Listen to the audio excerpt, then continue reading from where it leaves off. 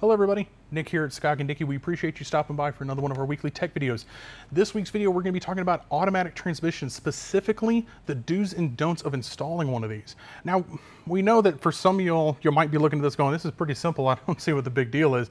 We've actually had a lot of customers that have ran into some real issues because they really messed up on installing one of these just because they didn't know any better. We all had to learn sometime, right? Now, luckily, I have never had to deal with a catastrophic transmission failure due to misinstallation, but I've known a lot of people that have. So let's cover some of the basics here, some of the things that you need to look out for and why you need to look out for it. And of course, some things you definitely don't need to do. Now, as you can see here, this is a six-speed automatic that you would find in a you know LS3 6L80 Connect and Cruise. We're actually using this in a future projects. Please stay tuned for that. But for today's purposes, we're going to be using it for educational instruction. Now, when you get a new transmission from Chevrolet or Chevrolet Performance, they do come with one of these retainer plates here you see in the front. You can see the blue torque converter, but you see this retainer plate. It keeps it, while in shipping, from that torque converter falling out. Also, they're pre-stabbed from the factory, and that's a really good thing because that's where a lot of these problems come up with. I have an old 4L60E torque converter here I'm going to be using for a little bit of just demo purposes. Uh, believe me, this thing is no longer roadworthy. It's pretty old and junked. I'm saving it for a core. But when you're installing a torque converter, these things can be really heavy. If you didn't get one from us that is pre-installed and you're trying to stab the snout of this thing on the, the input shaft of the transmission, these things are heavy. I'm a big boy, but I mean, that could be really hard to do. You can actually damage a few things, and if you don't get it stabbed properly, you can actually damage the transmission. It'll mount and run, but you're not turning the pump inside and you'll burn it up. What I mean by that is, these little tangs right here, do you see these little grooves cut in the snout here? These are what actually engage on the pump on the inside. There's two matching tangs that slide into this. There's not a lot of window for misalignment here. You kind of have to get this right. So when installing one of these, please make sure to constantly turn the torque converter as you're installing it, and you'll hear different clicks and clunks as you get it seated. One thing to keep in mind is if you think you got it right, you're installing it on the car, and you notice that this bunts up to this long before the transmission bell housing here touches the engine, you didn't get the torque converter stabbed right. Pull it back out and try again. I actually think personally that's where most people have more problems. This stuff is heavy. I have crawled underneath a car on jack stands and tried to hold one of these on my belly and chest and try to stab it into a car, all while trying to make sure this torque converter falls out, all while that stinky transmission fluid is running down my leg. I feel your pain if you're watching this going, I hate messing with this stuff. I get it, but you do have to do it right or all you're gonna do is pull it back out and it'll cost you thousands to replace. Remember, warranties don't cover misinstallation. So it doesn't matter if it's Chevrolet Performance or an aftermarket warranty, nobody covers that. So you got to do it right the first time.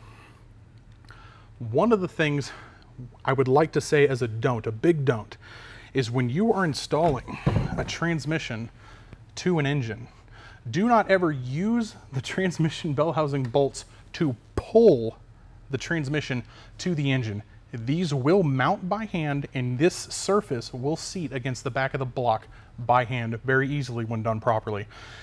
You can actually crack the block. You can actually crack one of the ears off this transmission and that that's not a day ruiner. That that'll ruin your month. So don't make that mistake because I've seen that happen as well.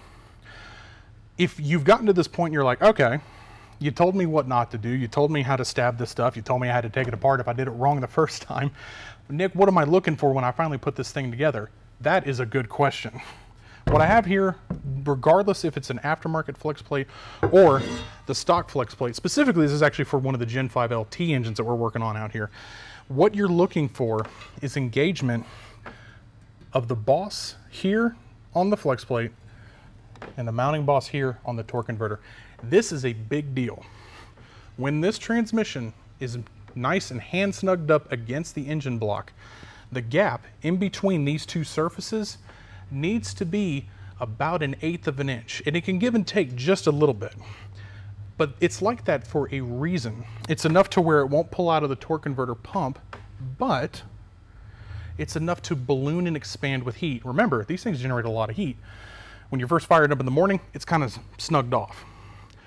When you're hot and you're romping on it and you're at the racetrack enjoying yourself, they can actually kind of expand a little bit. You need a little bit of wiggle room. Or you can get situations where it balloons so much it pushes against the crankshaft thrust bearing, ruins that. We've seen that before too.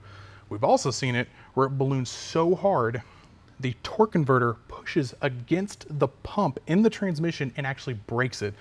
That's not a training rebuild, that's a replacement. That trashes everything inside of these. So you have to be careful about that. If you're wondering how to measure that, it's an old school trick. A drill bit.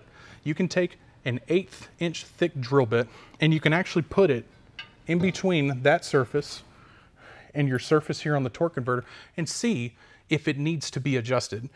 Sometimes when mismatching aftermarket parts, it can be a little bit difficult and you have to shim something or shim something the other direction to get it right. Please make sure to do this properly and measure it properly so you don't run into all these training troubles I taught you about.